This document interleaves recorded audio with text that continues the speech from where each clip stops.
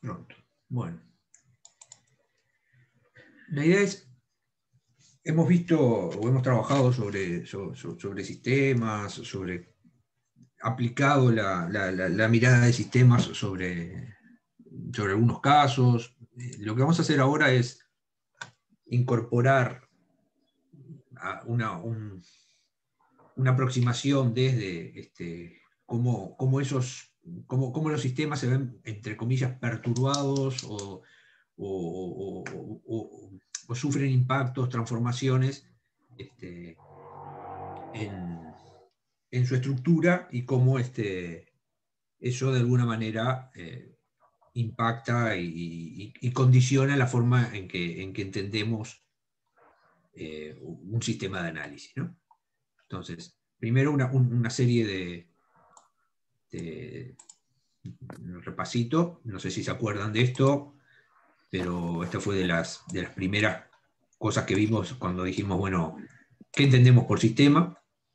Este, el sistema como un conjunto de elementos o partes que interaccionan dinámicamente entre sí con el ambiente que lo rodea y que tiene una cierta permanencia dentro del espacio-tiempo, que intenta alcanzar un objetivo concreto, o sea, hay una intencionalidad, actuando sobre las entradas y suministrando salidas procesadas.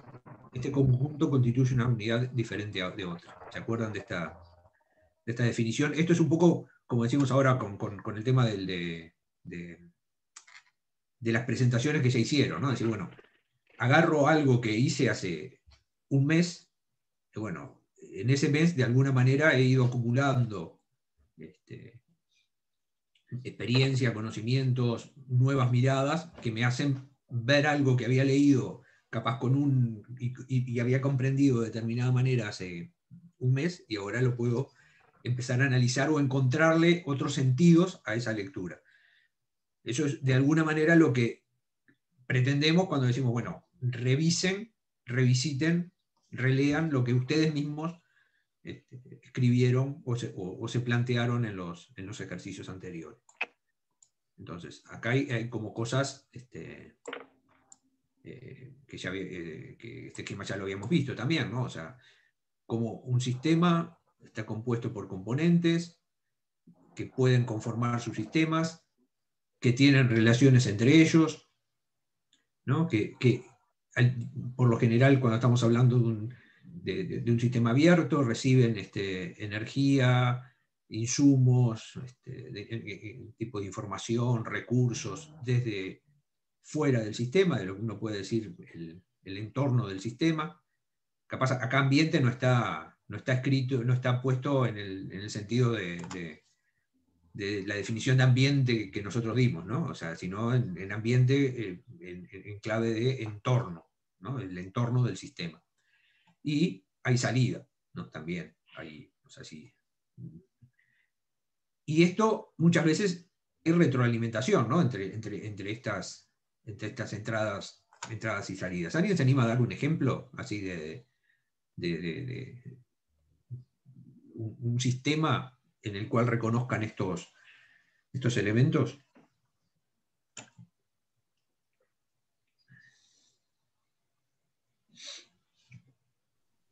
La ciudad, por ejemplo. A ver, Oscar, la ciudad. Arrancaste con el fácil. A ver, Oscar, la ciudad, ¿por qué? Porque tiene, eh, tiene entradas y salidas. Por ejemplo, la entrada de la materia prima y la salida, por ejemplo, serían eh, todo lo que serían residuos, por ejemplo. Bien. ¿Y, qué componentes o subsistemas encontrás en la ciudad? La fábrica. o cualquiera de tus compañeros. Fábrica o producto. Las zonas residenciales también sería otro. Un local. Los consumidores. ¿Qué, dijiste, Claudio? Un local. Un local, los edificios. O sea, ahí. Este, la alcaldía, los ministerios. Ahí hay otro, una cosa que, que, no necesariamente, lo que dice William, no necesariamente tiene materialidad medio escolar el ejemplo que voy a dar, ¿no? Pero eh, un sistema se puede reducir también a un, un contenedor cerrado que también le estaría generando un intercambio de, energía con el entorno, a pesar de estar cerrado. Por ejemplo, ¿Pero un contenedor en qué sentido? Claro, mm, alguna, alguna, ejemplo, una caja. Sí, o sea, eh, todo puede, podemos, todo no, pero podemos construir sistemas. Ahí importa también esto que veíamos en la definición, ¿no? Un objetivo. O sea, de alguna manera hay una intencionalidad en la construcción del sistema. O sea, evidentemente si yo estoy hablando de ciudad y pregunto por subsistemas, no es, este, no, parece ser eh, una caja, algo posible de analizar en el marco del sistema ciudad. ¿no? Capaz, si estoy analizando un, sé, no sé, un, experimento en laboratorio en los cuales, bueno, la, caja y, los contenidos de esa caja juegan determinado este, este, rol.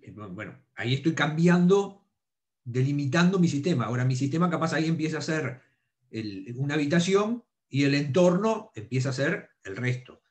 No sé si queda claro esto, porque eso es, eso es importante porque una de, de las cosas complicadas este, cuando, cuando, cuando uno se para ante esto es, bueno, ¿de qué manera defino ese sistema?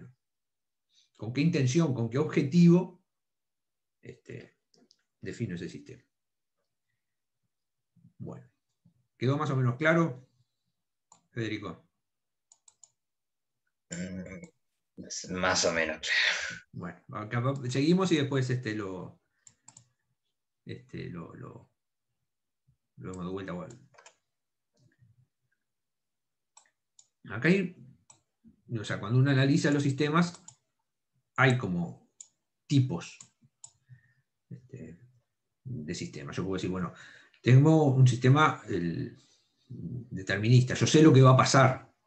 O sea, tengo como las variables este, controladas. ¿no? Entonces, eh, yo sé que eh, ahí la landera esa, la, máquina de hilar, bueno, tiene determinados mecanismos que accionando determinados, este, determinadas palancas funciona de determinada manera. Y lo puedo analizar como un sistema. Este, el, tirar una moneda al aire, la lógica de tirar una moneda al aire, también, o sea, es, este, lo que empiezan a aparecer acá son como otros conceptos, ¿no? O sea, como sistemas probabilísticos. O sea, la, moneda puede caer este, de una manera o de otra manera. Pero la o sea, tengo certidumbres de que si tiro una moneda, la moneda sube, cae y hay una probabilidad de que suceda una cosa u otra. Disculpa, una pregunta. Dale. En el sistema probabilístico este que estás diciendo de tirar una moneda, yo acá, por ejemplo, no puedo identificar la entrada de información, energía, recursos y la salida. O sea, ¿cómo, cuál, ¿qué sería eso ahí en ese sistema de tirar la moneda? O sea, por lo pronto, por ejemplo, ¿no? si la moneda puede estar quieta, el pulgar este impulsando la moneda le está generando un ingreso, o sea, al, este, está generando un ingreso de energía, que se transmite a la moneda, que, este, ¿sí? Claro, es como la, energía en forma de trabajo. La información no sería si da cara o cruz.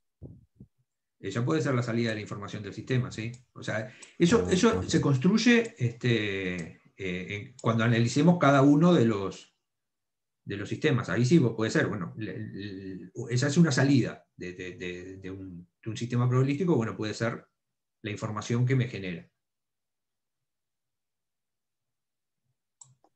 Otra lógica de entender, otro tipo de, separar, de definir sistemas, o sea, ¿no? los sistemas simples, ¿no? O sea, como, la, máquina de hilar anterior, ¿no?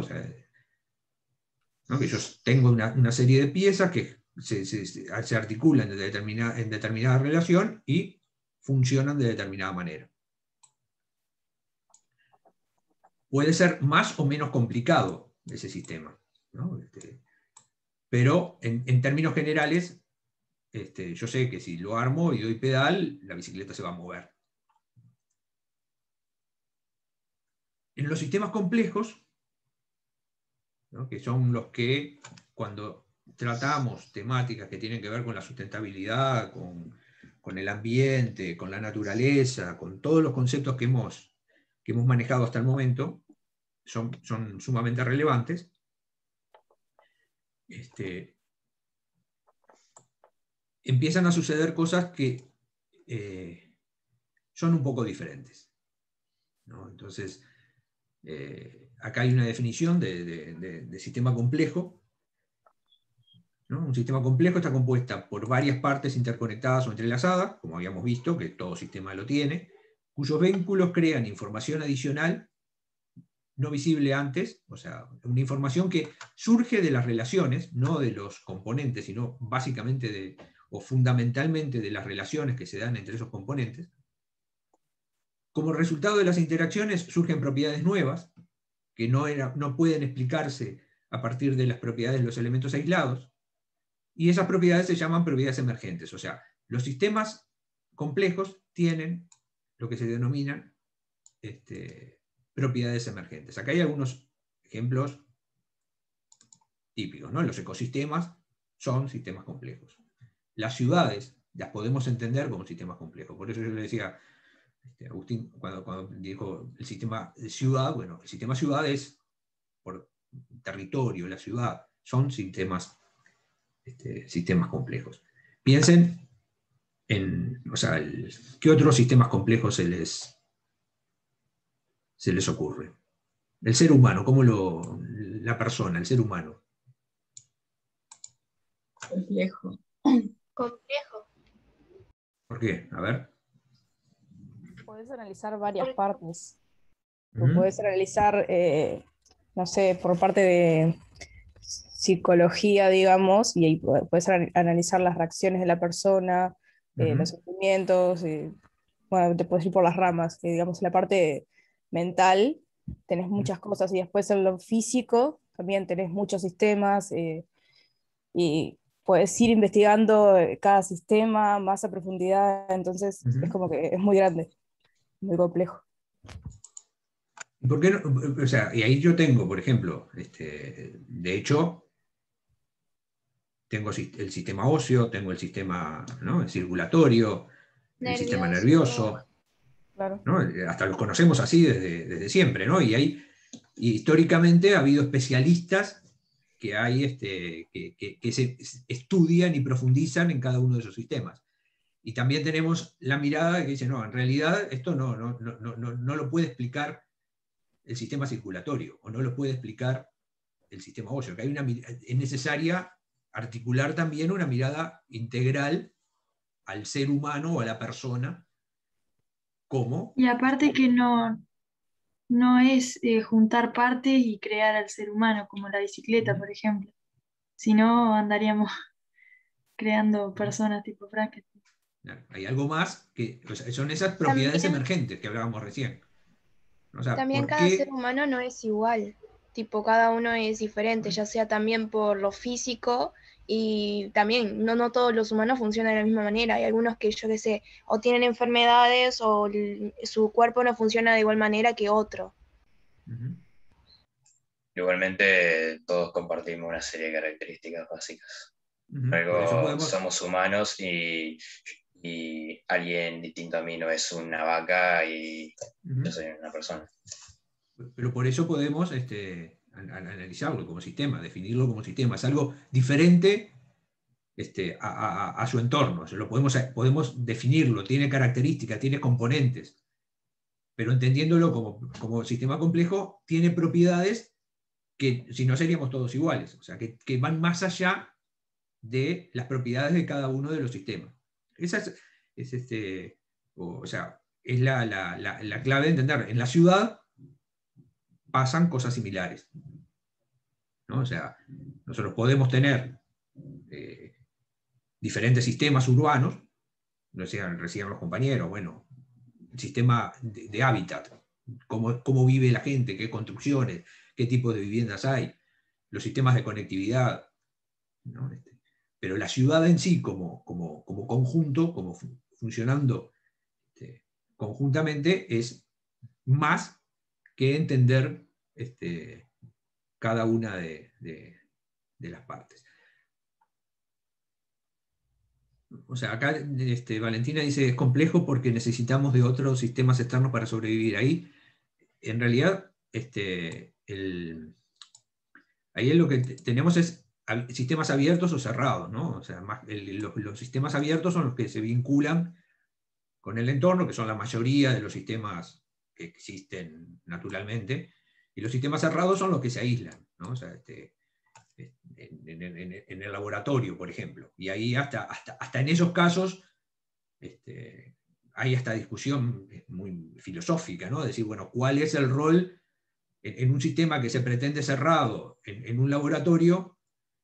¿Cuál es el rol del investigador que está ahí? Que, entonces ahí se abren discusiones sobre las lógicas del conocimiento, o sea, sobre cómo es la construcción del conocimiento. Eh, pues el sistema complejo no, no o sea, claramente sí recibe energía, este, insumos, inputs de afuera, sin duda. O sea, ya sea la Tierra, que, lo, tomemos como sistema complejo, no existiría sin la energía que le brinda el Sol o sea un ecosistema, o sea eh, una ciudad, este, sí tenemos ingresos al sistema de energía, información, recursos y salidas del sistema. En los sistemas complejos, un, elemento que, tiene como mucha relevancia es el tema de la incertidumbre, o sea, la, la ausencia de conocimiento, el desconocimiento de determinados aspectos. Y esto es importante, Sí, dale, Belén. Perdón, porque no entendí, eh, en la diapositiva anterior decía, capaz que lo explicaron y no, entendí, sistema complicado, diferente, sistema complejo. Y eh, para mí, por ejemplo, por ejemplo eh, esta, esta, esta, máquina de hilar puede ser muy complicada. Sus engranajes, sus, sus, poleas, este, capaz es mucho más complicada que este, no sé, una bicicleta, el sistema de la bicicleta.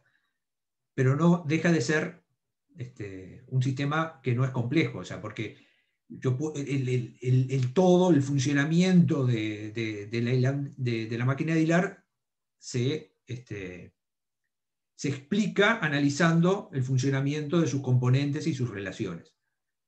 Y no hay, ah, este, cuando yo voy a, a, un ecosistema, no solo tengo diferentes especies, tengo la energía del sol que entra, tengo este, sino que hay propiedades del, ecosistema que este, son más, o sea, que, no las explico estudiando cada, cada eh, especie que, exista en el, ecosistema. Claro. Gracias. Esa es la diferencia. O sea, puedo o sea, los complejos por lo general son complicados pero no todo sistema complicado es complejo.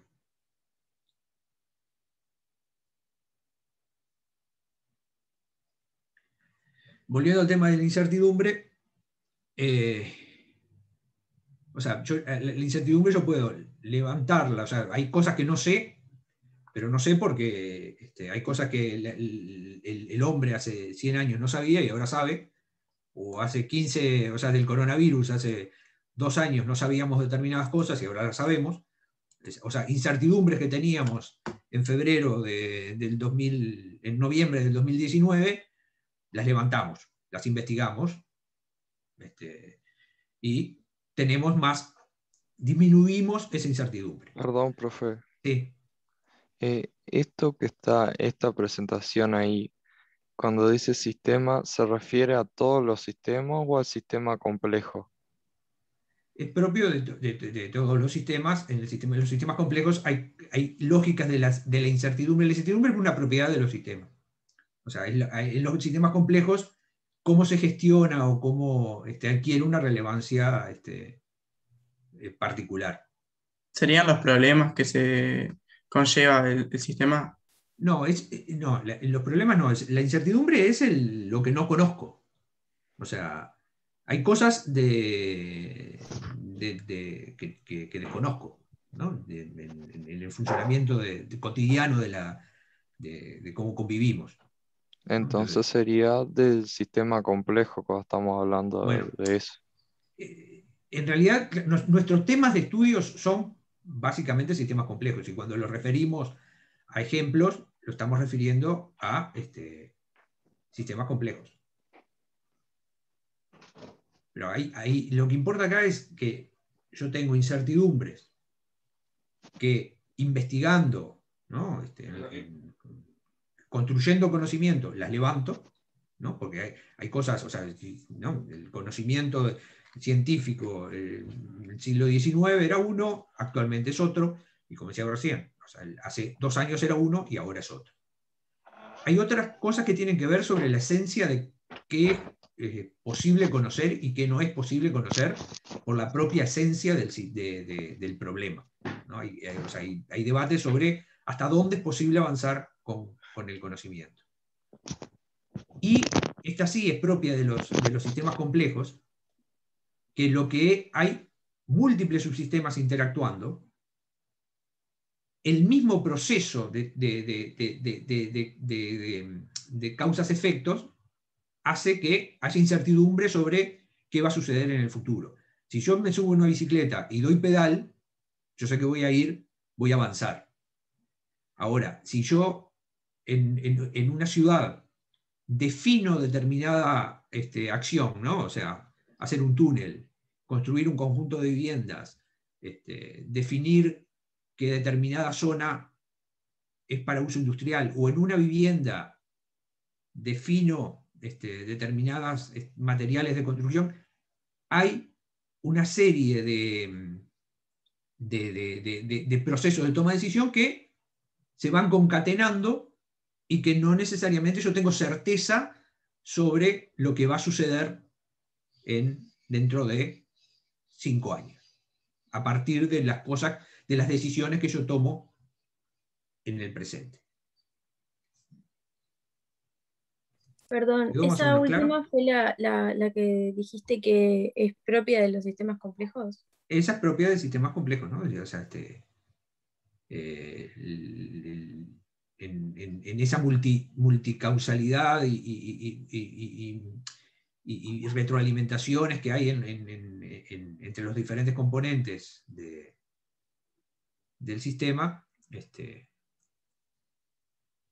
se, propia de eso.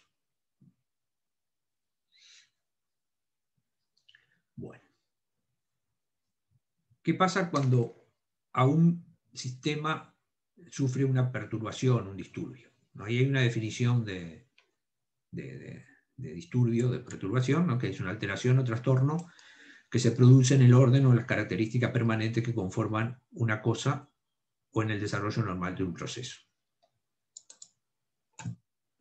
el, esquemita es la infografía esa, claramente es el uno podría decir, bueno, el sistema, la persona como sistema y hay una perturbación este, clara, ¿no? Este, que va a afectar al, al sistema. Entonces, acá hay Pregunta. Sí. ¿Las perturbaciones eh, siempre vienen del exterior o pueden venir del interior también? En principio son este, eh, impactos que vienen este, desde, desde el exterior, ¿no? O sea, eh, o sea, son propias, no, no, no necesariamente son del exterior. O sea, son alteraciones o impactos que sufre el funcionamiento del sistema. Justamente ahora estamos viendo estas cosas, ¿no? Eh, algunos ejemplos vinculados con lo, este, con lo urbano. Uno puede decir que esas perturbaciones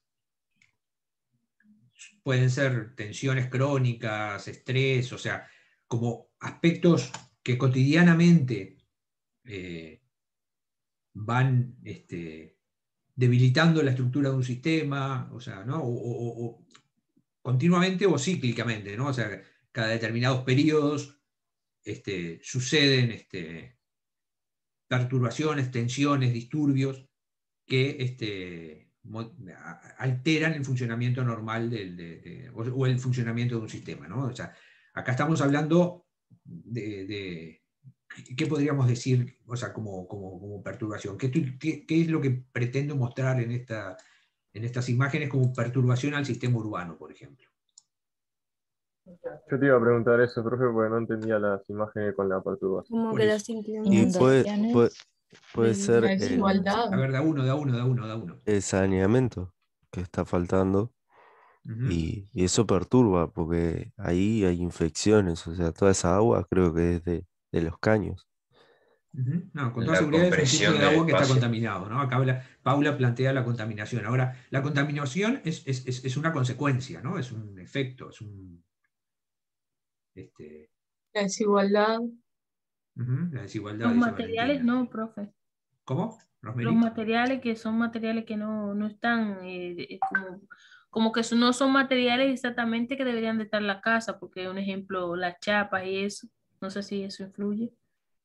La falta de recursos básicos. materializaciones de, de, de, determinado este, problema, pero yo me quedo más con lo que planteaba Valentina, o sea, el tema de bueno, la desigualdad, la pobreza, es un, la, pobreza urbana es, o sea, las crisis económicas son como, o sea, eh, este, elementos que afectan, o sea, si uno dice, bueno, ¿cómo debe funcionar una ciudad para que sea este, eh, sustentable? ¿no? Estamos en clave de sustentabilidad en este curso. Bueno, la pobreza claramente pone en crisis, en riesgo, esa, este, el, o, u otras, ¿no? O sea, estas son ya más de, ¿no? el, tema de la movilidad, de, la movilidad, claro, William. O sea, ¿no? el tema de la movilidad también, o sea, es algo crónico, no es, no es que, este, o sea, es como todos los días para ir de un lugar al otro, en, algunas ciudades demoro, bueno, en, todas, de algún lugar al otro voy a demorar dos o tres horas, o grandes congestiones, o masificación de, determinados medios de transporte. y la contaminación de los autos también iría. Mm, eso es un efecto, y después lo vamos a ver, que trae, o sea, en esta lógica de, de de, de, multirelaciones, ¿no? O sea, bueno, si yo todos esos autos se están moderando durante horas, este, evidentemente todo lo que tiene que ver con, la emisión de gases eh, se aumenta, ¿no? Entonces, no solo estoy, no, solo es un tema de tiempos que cada uno pierde, sino, como vos planteás, bueno, también hay este, externalidades o problemas asociados a eh, contaminación del aire, y eso vamos a ver el tipo de gases de, combustión es una de las causantes de, eh, cambio climático. Entonces, eh, todos esos elementos que se empiezan a vincular y a, relacionar este, son como, como, como, claves, son como, claves en esta lógica de, de perturbaciones. ¿no? O sea, procesos ya más de, mediano y largo plazo, ¿no? O sea, este, y que a veces pasan como muy desapercibidos. Bueno, este, los procesos de urbanización, en particular en, la costa, ¿no? O sea, que, este, todos ustedes en algún momento lo deben haber, este, sentido, ¿no? El avance de las urbanizaciones sobre ecosistemas frágiles, sobre ecosistemas dunares, este, que no es solo por un tema del ecosistema en sí mismo. El, ecosistema, esos ecosistemas cumplen determinadas funciones este, que hacen eh, posibles que sucedan otras. Y a la medida en que se ven afectados, eh, empiezan a, a entrar en crisis otros aspectos del, sistema. ¿no? O sea, lo que vemos a la derecha es una, floración de, cianobacterias, o sea, este, por carga contaminante orgánica sobre los cursos de agua. Entonces, bueno, el, río que tenía determinada equilibrio ecosistémico, que, con determinadas especies, bueno, cambia su composición, cambia su estructura. Este, o puede llegar a cambiar su estructura. Podrán aparecer unas especies, podrán desaparecer otras, podrá, se reconfigura un nuevo equilibrio, no es que el, este, río cambia su el sistema del, agua, el sistema cambia su, equilibrio. Ahora, si nosotros extraíamos para agua potable el agua de ese río, eh, empezamos también a, em, empiezan a trasladarse este, los, eh, eh, los problemas, ¿no? Y eso, esto es una tensión crónica, digo, son, son aspectos que van día a día, ¿no? sin, sin que sean demasiado visibles hasta que pasan determinados umbrales y cambian la estructura o la lógica de funcionamiento del sistema. Este, eso es un poco la lógica de, las tensiones crónicas, son cosas que suceden como de gotita, ¿no? son gotita, gotita, gotita, que en algún momento o sea, o que dificultan alcanzar objetivos. Este, en, nuestro caso de sustentabilidad urbana, ¿no?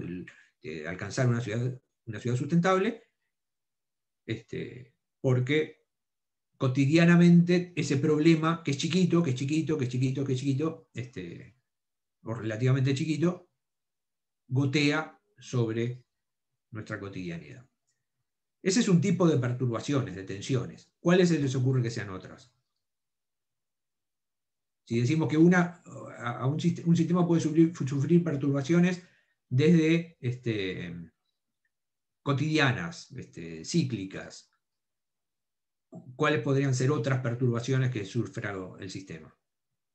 La producción de recursos, o sea, las fábricas. Ah, por ejemplo, el tema de contaminación de la fábrica. Sí, el tema con contaminación. Ah, pero ese también, la fábrica funciona todos los días, o sea, al principio no, generará o sea, demasiado impacto, pero poco a poco eso se va...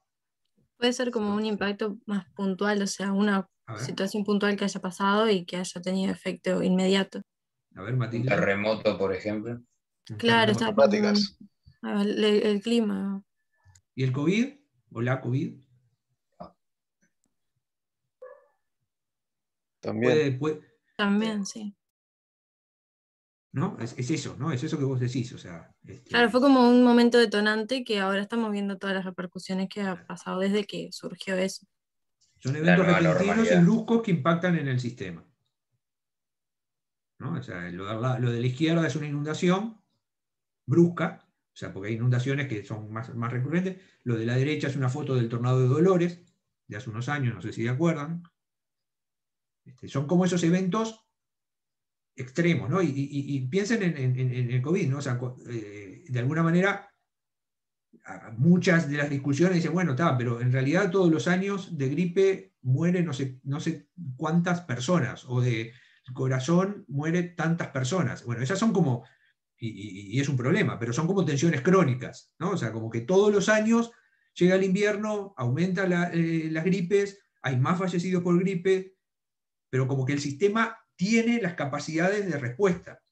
¿no? El sistema, en este caso, social, ¿no? la sociedad, tiene internalizadas determinadas capacidades de respuesta. Tiene capacidades de resiliencia ante ese, problema. Cuando vino el, COVID, el problema de la COVID era, primero, no sabíamos muchísimas cosas, no sabíamos. El tema de la incertidumbre que veíamos antes. Y después fue este, que era algo, o sea, el impacto fue, muy brusco, en, no solo en el tema sanitario, en el tema económico, en el tema social. Entonces, eso es, mm, un ejemplo de este, esta diferencia entre un impacto brusco, que puede ser esto que decíamos, una, erupción volcánica, un gran, este, una crisis económica de esas, eh, si uno miran Uruguay, el, el, PBI del Uruguay, bueno, van a ver, este, desde, los 70 viene bajando, 82, una caída brutal. Después un leve repunte, 2002, una caída brutal. Y ahora, otra vez, o sea, son como, esas, cosas son, estructurales. Entonces, una cosa es la pobreza cotidiana que, existe en, la ciudad y otra cosa son las crisis este, bruscas. O sea, esto es importante digo, para, para, para cuando uno analiza este, después cómo actuar, ¿no? O sea, cómo, cómo construir, lo vamos a ver más adelante, resiliencia ante perturbaciones crónicas, cosas que suceden cotidianamente y este, Perdón, profe. Impactos. Sí, Oscar. Entonces, cuando hablamos de impacto brusco, un ejemplo sería el COVID-19, que fue algo brusco, digamos. Sí, sí, lo podemos conversar. Yo creo que sí, que, es claramente un, un, este... ¿Me repetí la definición de resiliencia? Ahora la vamos a llegar, no te la repito porque no la vimos todavía. Ah, no, esto, por ejemplo, es lo que Montevideo hizo cuando construyó su estrategia de resiliencia. Ahí, estos son talleres que se hicieron, entonces los diferentes técnicos y actores este, identificaban tensiones e impactos, ¿no? Sistemas inadecuados de transporte público. Eso es algo que sucede todos los días. Vivienda y asentamientos informales. Su, crecimiento es algo que sucede todos los días. Este, cambio climático, ahora, ahora vamos a ver después cambio climático. O tormentas severas. Esto es algo que es, es más imprevisto, es más brusco, ¿no? Un colapso de infraestructuras. Yo tengo una represa y la represa se rompe. O sea, ¿no? de paso de no tener ningún problema a tener, y ha sucedido en muchos lugares del mundo, muchas pérdidas humanas, metros y metros de, kilómetros cuadrados eh, eh, inundados, ciudades desaparecidas. O sea, este, entonces, esas son como, como... Y los puedo, de alguna manera, yo los puedo agrupar, ¿no? Puedo ver temas que tienen que ver con el transporte, temas que tienen que ver con con la vivienda y el acceso al suelo, temas que tienen que ver con la inequidad económica, temas que tienen que ver con el cambio climático, con la sostenibilidad ambiental y la gestión del riesgo. Este, algunos de estos pueden ser, hoy, cuando decíamos, bueno, ¿cuáles son los sistemas en la ciudad? Bueno, movilidad y transporte, yo lo puedo entender como un sistema. Todo lo que tiene que ver con la vivienda y el acceso al suelo urbano, lo puedo entender como otro sistema. Entonces, eso de alguna manera nos lleva a entender este, el, concepto de riesgo. El riesgo es, ¿cuándo se produce riesgo? Cuando una amenaza, un peligro, se articula con una vulnerabilidad y con una exposición. Esa es como la definición este, eh, académica, digamos, de, de riesgo. La articulación entre una amenaza y la vulnerabilidad y exposición de la sociedad que la recibe ejemplos. Cuando digo, a, qué me refiero con la amenaza? Es un fenómeno, este, sustancia, condición este, peligrosa que puede ocasionar muerte, lesiones o impactos en la salud. acá hay algunos ejemplos. Eso puede ser natural, lo que decía el compañero recién, un, volcán. O sea, no hay, acá no hay ni cambio climático ni nada, ¿no? O sea, son otras, otros procesos geológicos que hacen que un volcán entre en erupción. Es una amenaza para las ciudades que están en sus faldas. Un accidente, ¿no? un rompimiento de un oleoducto. O el rompimiento de un, dique, de una, este, de una presa, porque empezó a llover muchísimo más de lo que la presa estuvo calculado. Entonces hay una mezcla, es lo que se llaman amenazas socionaturales en realidad el origen último, si se quiere, es la precipitación, la lluvia, pero también hay una acción humana en el, en el medio. Entonces, esa es como la amenaza, es como el, elemento externo.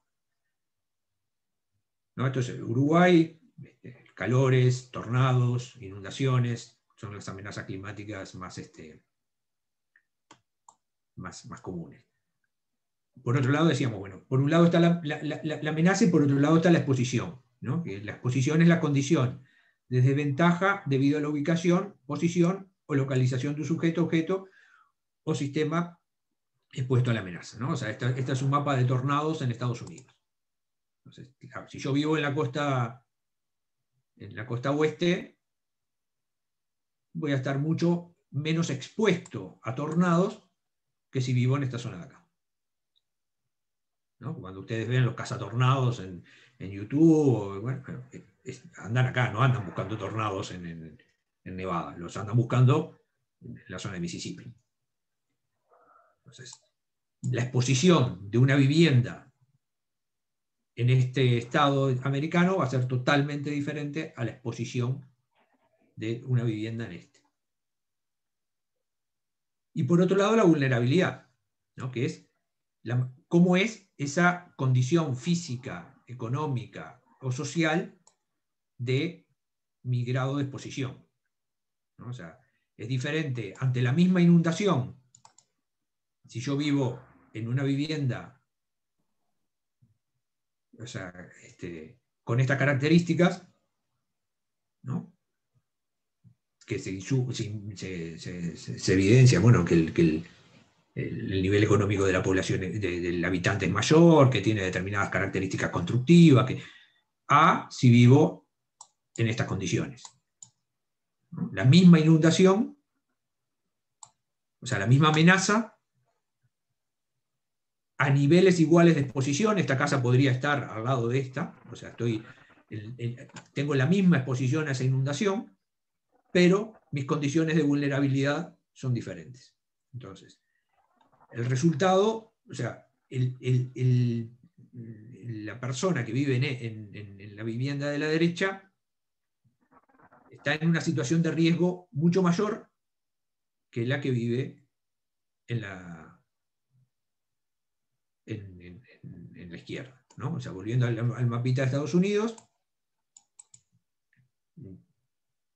una misma vivienda, la misma vivienda ubicada aquí y ubicada aquí, la que está en esta zona va a estar en mayor riesgo que esta. Ahora, dos viviendas ubicadas aquí, algunas tendrán condiciones para resistir un tornado mejores que otras. Por lo tanto, el riesgo va a ser menor. Ahí volvemos al, grafiquito este, como para terminar de entenderlo. Perdón, profe, ¿cuál sería el concepto que habías dicho de riesgo? Riesgo es la articulación entre una amenaza o un peligro y la vulnerabilidad y la exposición de la este, sociedad que recibe el impacto, que recibe esa amenaza. Cuando eso lo vemos en, cambio climático, lo que se suma es que, lo que veíamos hoy, bueno, el aumento de la amenaza muchas veces está dado por el, perdón que voy a colgar, el aumento de la amenaza muchas veces está dado por las propias acciones del hombre. ¿no? no son solo acciones naturales, sino que este es el propio hombre el que genera esas, entonces, profe, el concepto sería la articulación entre amenaza, vulnerabilidad y exposición. Y exposición. Acá está. Esta es la relación entre una amenaza y la vulnerabilidad de la sociedad que recibe el impacto. Es decir, una condición latente cuyo grado depende de la intensidad probable de la amenaza y los niveles de vulnerabilidad. acá, acá estamos, ¿no? este es el río que se va a inundar cosa que va a crecer y va a inundar estas viviendas. Este es el nivel de exposición. Esta vivienda está mucho menos expuesta que esta. Por otro lado, hay vulnerabilidad. O sea, quizás esta vivienda, este, por lo general, por las lógicas de ocupación del suelo, tienden a ser más precarias que las viviendas que están menos expuestas. O sea, que ahí se suma una exposición alta y una vulnerabilidad alta. Cuando sucede la amenaza y empieza a llover y el río crece, tenemos la manifestación del riesgo, tenemos la inundación. ¿Quedó más o menos claro? Sí.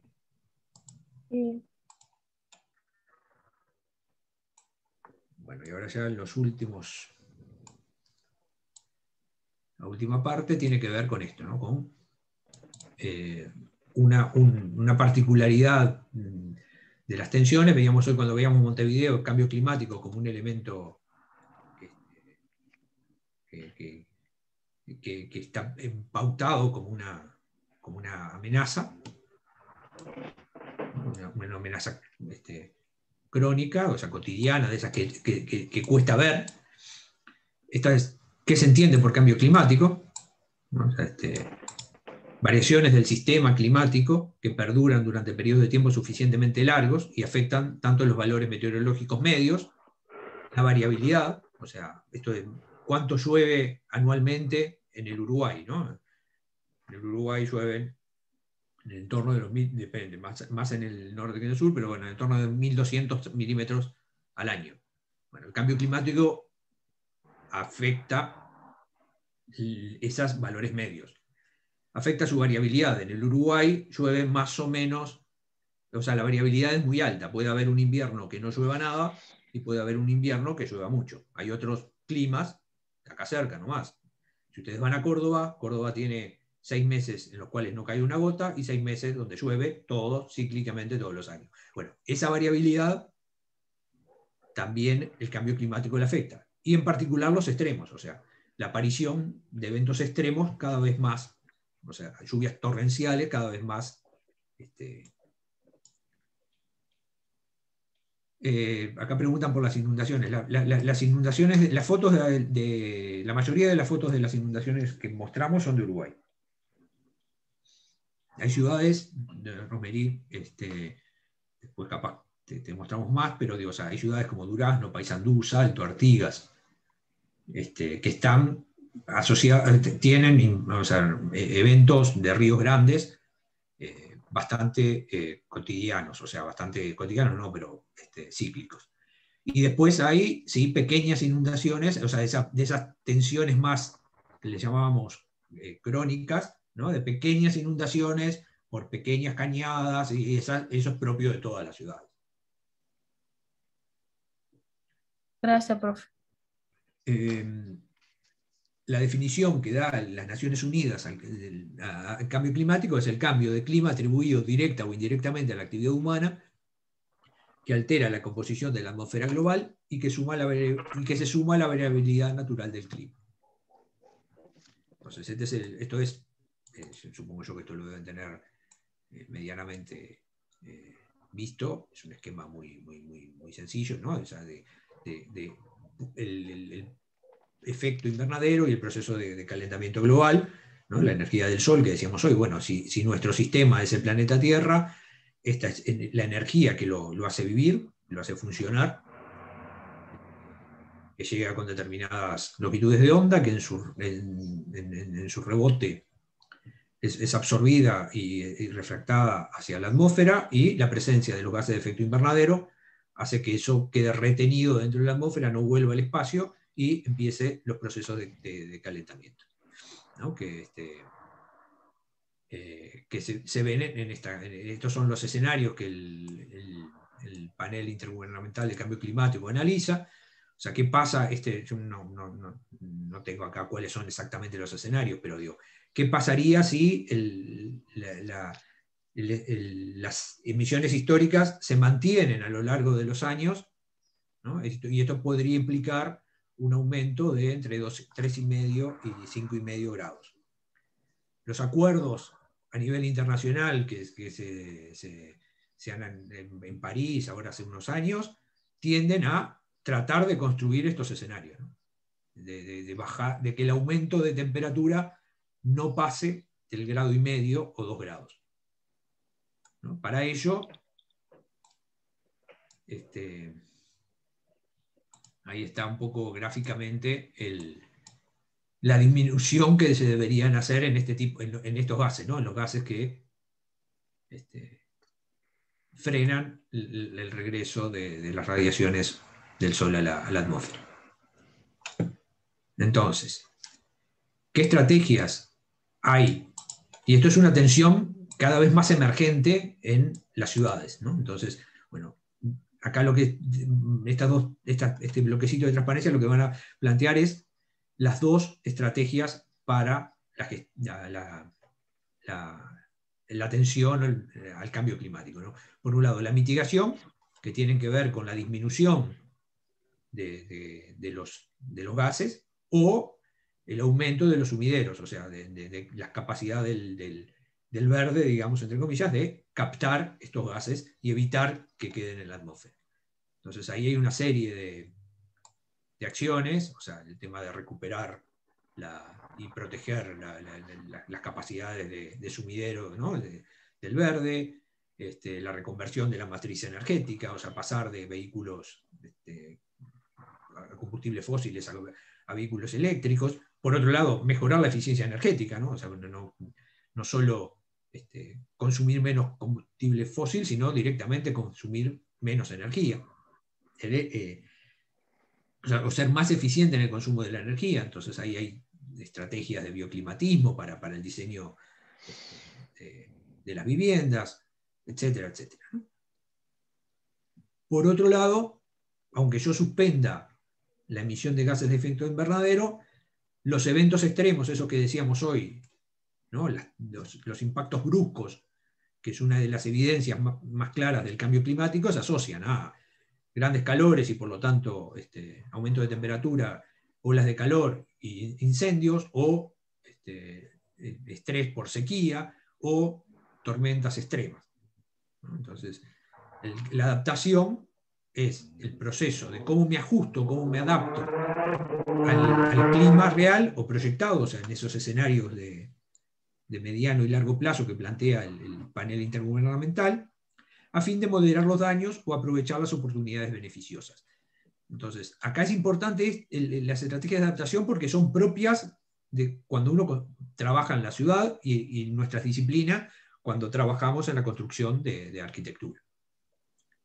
Entonces, la adaptación, o sea, estas son estrategias ¿no? de adaptación. Si yo sé que voy a, va a haber más lluvias y, o sea, por lo tanto, las áreas inundables van a ser mayores, bueno, voy a tener que relocalizar la población de, las áreas de riesgo. Si sé que eh, va a haber más temperatura y es probable que el vectores epidémicos, o sea, el dengue, por ejemplo, en nuestro país, que, normal, que, no, es, no era tan común hace años, bueno, ahora empieza a ser cada vez más común por, por, algunos de estos elementos. O el diseño de, sistemas de alerta, este, bueno, cómo, cómo monitoreo mejor este, la llegada de tormentas extremas. O cómo incorporo, y algunos de ustedes analizó, por ejemplo, el Plan Clima de Barcelona, cómo incorporo la planificación, en la planificación el tema del cambio climático.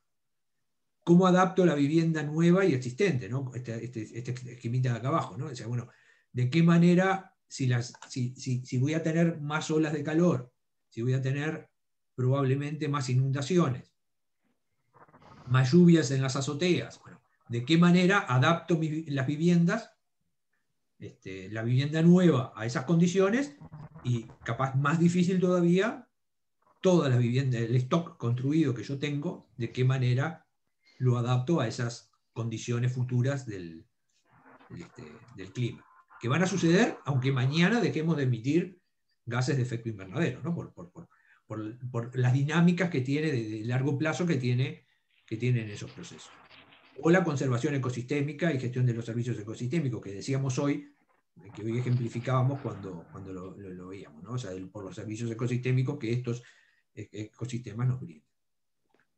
Y bueno, ya terminando, un poco este, la resiliencia como una eh, característica de los sistemas que contribuye a gestionar estos aspectos.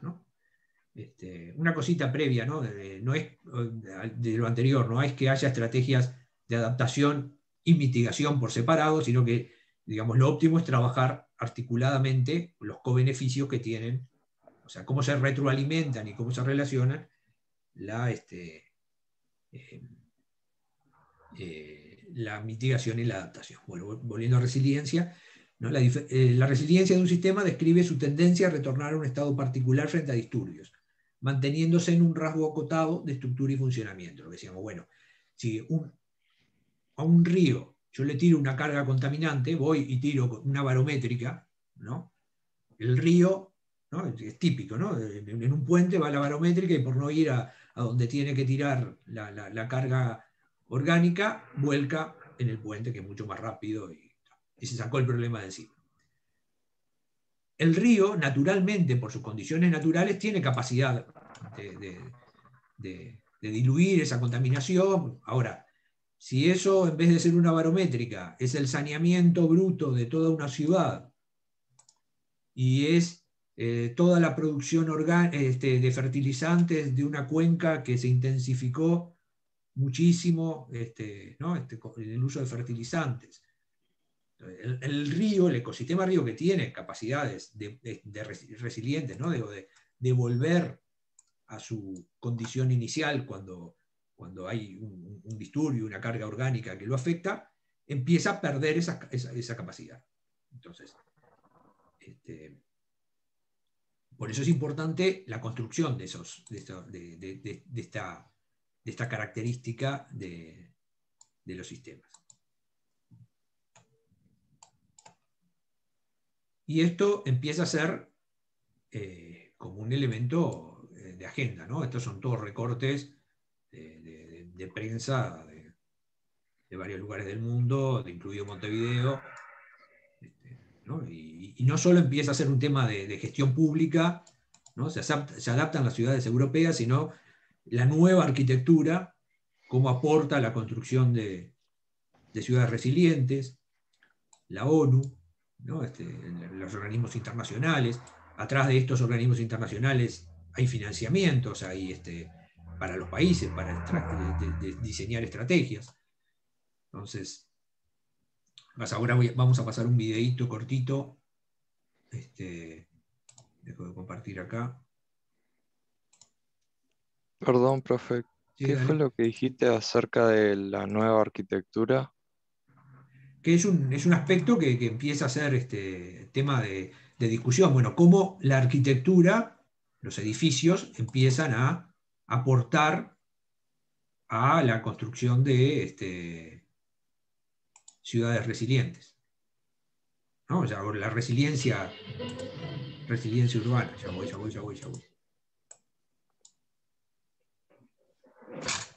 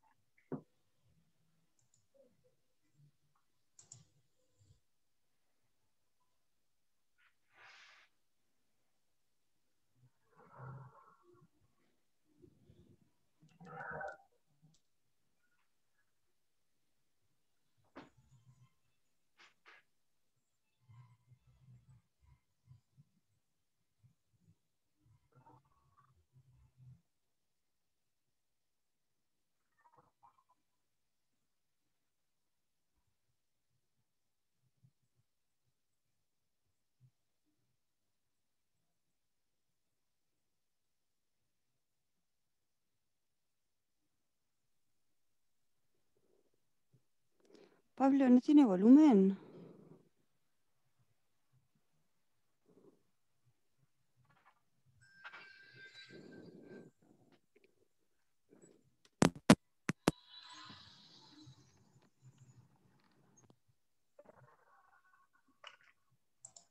Se supone que se tiene que escuchar. ¿No escucharon? No, no, Tenés que poner para compartir con audio. ahora, ahora que lo dicen, ya me había pasado la vez pasada. Esa parte no la sé. igualmente eh, no, no, no, no había audio de voz. Una pena porque está la música. Este, eh, igual les queda el link y lo, pueden volver a, escuchar. Eso es Bogotá, no, hay muchas ciudades ahí atrás. Muchísimas ciudades. Es una campaña de, de las Naciones Unidas de, la Organización de Naciones Unidas para la Reducción de Riesgos de Desastres, este, eh, y hay muchas, este, muchas ciudades, las que están ahí son, son, son, muchas ciudades. Entonces, eh, de alguna manera, lo que, lo que deja planteado el video, o sea que ya les digo, no, no, tiene, no tenía voz en off, tenía solo este, eh, música. Es que es necesario repensar la ciudad, ¿no? Y capaz para, para capaz de conversar entre todos, les quedan en la última, en la última diapo del, de, estas son como eh, características que una ciudad resiliente, esto es de la Fundación Rockefeller y su estrategia de ciudades resilientes, ¿no? Este, bueno, cuáles son las propiedades o las características que una ciudad tiene que, tiene que cultivar para eh, ser este, eh, resiliente, ¿no? apoyarse en, las experiencias este, pasadas, parándose sobre esas experiencias pasadas, ser innovador, reconocer nuevas formas de, entender los problemas. O sea, acá hay como reflexiones, después lo vamos a ver en la segunda parte del semestre, con cosas más, más, más, más articuladas, o sea, bueno, en el manejo de la energía en las ciudades y en las viviendas, en el manejo de las infraestructuras verdes, ¿no? de, los sistemas basados en naturaleza. Entonces, todas esas cosas que son como ah, este, políticas innovadoras, tiene que ser robusto, robusta la ciudad, este, en cuanto más robusta, más, más, este, más capacidades tiene. Perdón, profe, ¿esto quién es, quién es el que lo plantea? Eh, esto está, las estrategias de resiliencia que, o sea, la, Fundación Rockefeller, que, tenía, ahora, ahora eh, terminó esa iniciativa, pero tenía una iniciativa que era 100 ciudades resilientes, entonces financiaba este, estrategias, la construcción de estrategias de, resilientes, de resiliencia, eh, lo llegó a hacer en 100 ciudades del mundo, este, Montevideo fue una de ellas, y bueno, y estas eran como la, el marco conceptual sobre el que se paraba. O sea, este, tener eh, una ciudad tiene que ser redundante, estar preparada, tener un plan B para, ante un impacto, este, ser flexible, o sea, que cuando uno piensa, la arquitectura, piensa en un edificio, bueno, eh, ¿cómo, cómo es el diseño de ese edificio que, me permita este, eh, adaptarme a un escenario dentro en un futuro de eh, mayor temperatura o este, mayores vientos. Tiene que ser inclusivo, o sea, este, involucrar, cuando empezamos a hablar, hablábamos de, los actores, ¿no? Este, William creo que había tirado arriba de la mesa hasta el, sistema político de gobernanza de, una ciudad, bueno, pero todos los actores, no solo los políticos, sino los sociales, en sus diferentes este, marcos, eh, tiene que ser integral. Este, de alguna manera, lo que decíamos hoy, eh, eh, como sistema complejo que es la ciudad, hay que abordarlo integralmente, reconocer, más allá de que, que es necesario, así como en el ser humano decíamos, bueno, hay especialistas en corazón, y está bien, y es necesario tener conocimiento sobre cómo funciona el corazón, en las ciudades también. Hay especialistas en tránsito y es necesario saber cómo funciona el tránsito de una ciudad. Ahora, si las soluciones de tránsito se van a dar solo desde el, especialista de tránsito y las soluciones de agua solo desde el, especialista hidráulico y así sucesivamente, se pierden las características de, una ciudad como algo este, integrado y empezamos a perder las propiedades emergentes. ¿no? O sea, cuando uno dice la calle, la calle es movilidad, porque pasan vehículos, uno se mueve, es el soporte de infraestructuras, abajo de la calle pasan los sistemas de drenaje, el saneamiento, es el ámbito de interacción social, donde uno se encuentra con el vecino, donde conversa, donde se hacen las manifestaciones. Es el, se incorpora el verde, o sea, contribuye a la, atenuación del clima. De, ahí lo estamos viendo, no estamos viendo la calle como un corredor de autos, sino la calle como un espacio integral. No, Tomás. a tener el, el micro prendido. Tomás, Tomás. Este, bueno. Ah, esta es simplemente la bibliografía que les, queda, les va a quedar subida. Creo que esta no está subida todavía, pero la vamos a subir. Es una fichita con, con, con muchos de estos conceptos básicos que vimos, que vimos hoy. No sé si compañeros o alguna pregunta y si no, en cinco minutos nos vamos a los prácticos. No pude, no pude copiar el nombre de la bibliografía, ¿me la pones de vuelta, por favor? ¿Cómo no? Perdón, que fui muy rápido porque me estaba apurando. Este, por querer ir rápido, vuelvo para atrás.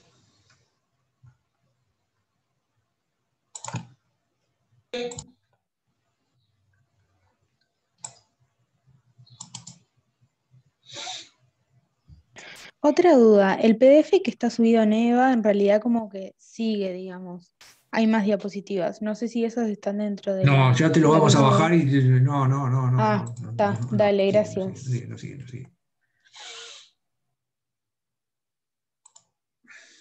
Una pregunta. La parte de perturbación y resiliencia la podemos usar para el análisis eh, en el parcial, en grupo, como sistema. Claro que sí. Bien. Claro que sí. Gracias. Bueno, ¿alguna otra pregunta así como